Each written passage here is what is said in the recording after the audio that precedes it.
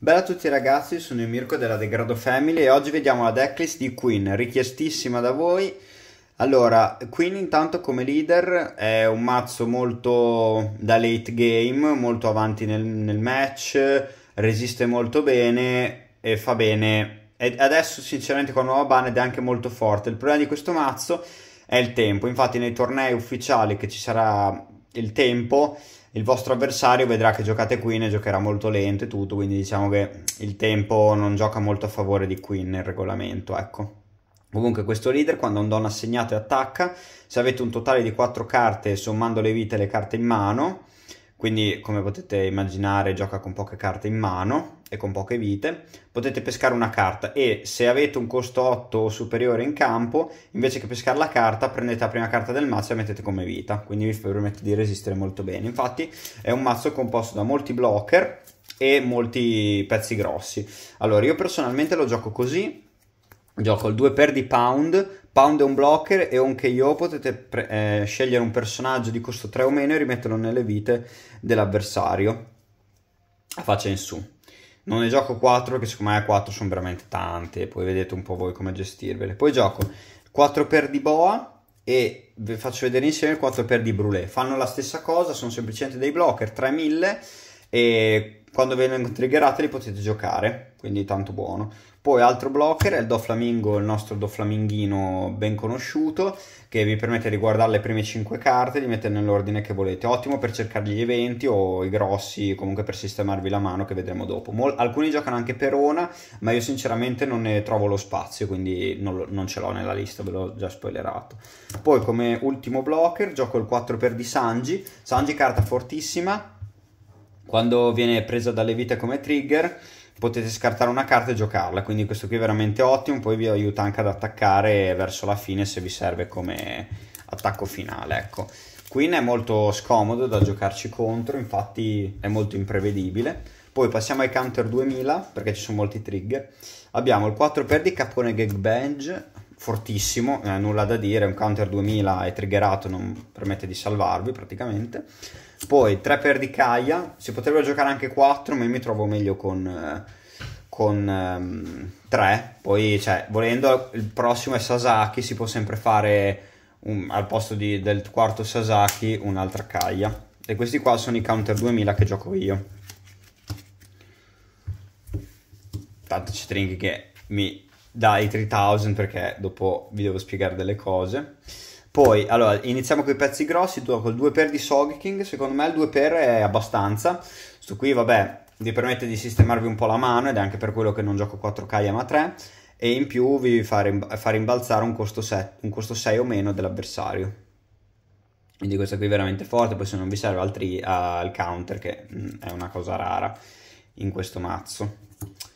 Poi di pezzi ancora più grossi, gioco 3 per di Katakuri, Katakuri, allora 4 per, alcuni giocano a 4, secondo me è un po' troppo, anche perché io gioco il Kaido 10, che alcuni non giocano, e è veramente molto forte Katakuri perché vi permette di rimettere i vostri blocker, o magari avete attaccato con Sanji, lo giocate e vi rimettete Sanji nelle vite, e vi permette di resistere ancora di più e in più il turno dopo volendo di giocare quel Sanji e avete anche attaccato mettendo pressione perché comunque il problema principale di Queen è il tempo. Infatti uno che gioca Queen deve essere bravo a giocare veloce almeno nel suo turno in modo tale che l'avversario si possa temporeggiare ma almeno tu non temporeggi contro te stesso ecco. Non so se mi sono spiegato. Comunque chi gioca Queen ha capito cosa intendo.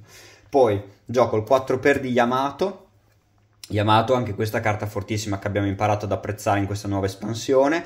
Ne gioco 4 perché sono veramente forti. On play potete spaccare un personaggio di costo pari o inferiore al numero delle vite vostre dell'avversario. Quindi molto spesso questo mazzo, eh, essendo che comunque Katakuri rimette nelle vite, anche volentieri anche i pezzi dell'avversario, invece, eh, a differenza di Katakuri, degli altri mazzi gialli che si tende a mettere solo i propri, in questo mazzo si tende di più anche a mettere gli, gli pezzi scomodi dell'avversario.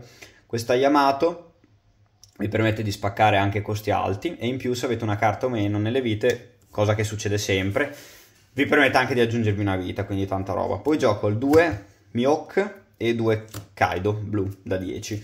Allora, questo è una scelta un po' particolare, però secondo me il totale deve essere 4.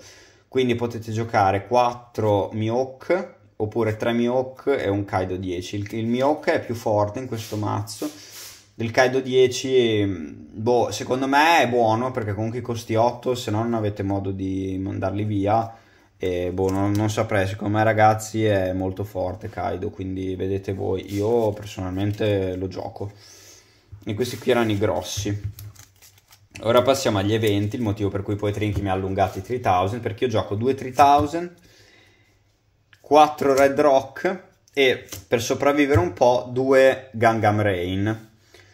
Allora, questi, allora, 4 Red Rock, vabbè, è fondamentale perché vi aiuta a levarvi i pezzi che se no non potreste levarvi. Non so, per esempio contro Do Flamingo quello, eh, quello da costo 10 lo usate contro, Big Mom da 10 glielo, gli levate da 10, Kuzan 10 e e molti altri che danno molto fastidio a questo mazzo, tipo altri grossi, altri pezzi grossi, o comunque vorrendo anche di mirror match è veramente molto utile.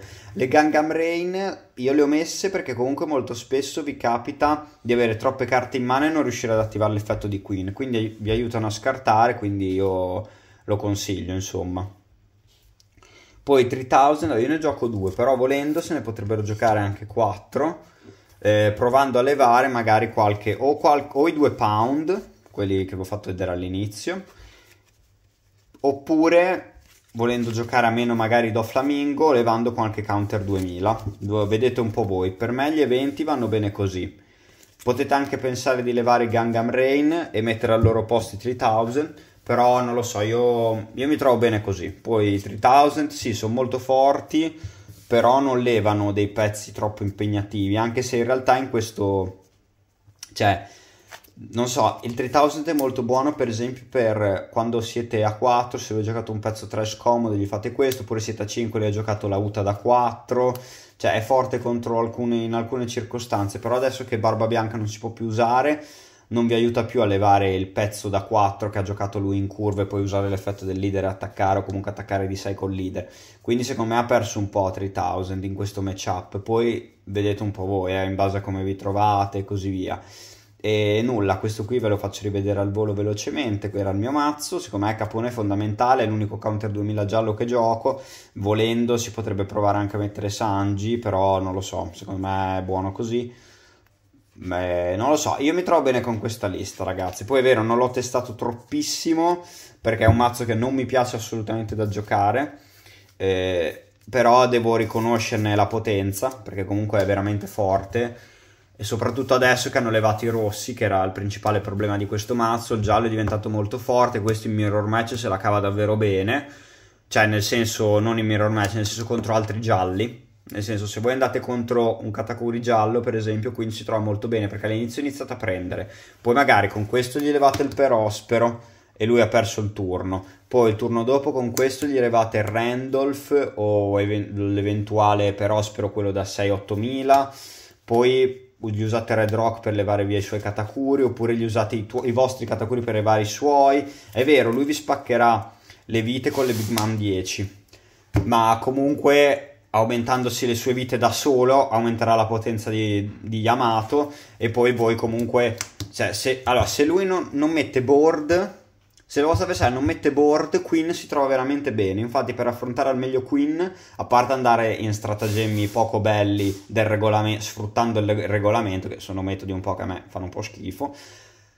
E il trucco è giocare tanti pezzi che riescono ad infliggere tanti danni, attaccare sempre dietro, fregandosene de, dei pezzi grossi. Bisogna, contro Queen dovete ragazzi attaccare sempre dietro, ricordatevelo, e chi gioca Queen deve stare attento a non, a non lasciare troppi pezzi nel campo dell'avversario, perché è quella la vera paura di Queen, perché Queen avrà sempre una vita, quindi dovrà subire due attacchi. Ed è anche per questo che giochi Rain, perché magari uno vede due carte in mano, non se l'aspetta, fa attacco 7 e dice ok me lo dovrà counterare scartando 2 ma dopo è. Poi in realtà magari te lo prendi e il turno dopo lo riesci a counterare di più di 9 magari l'avversario non se lo aspetta. Comunque ragazzi fatemi sapere cosa ne pensate di questa lista. Io vi ricordo come sempre di iscrivervi al canale di mettere un bel like. Ringrazio tutti per il supporto che state dando a, alla serie eh, di One Piece.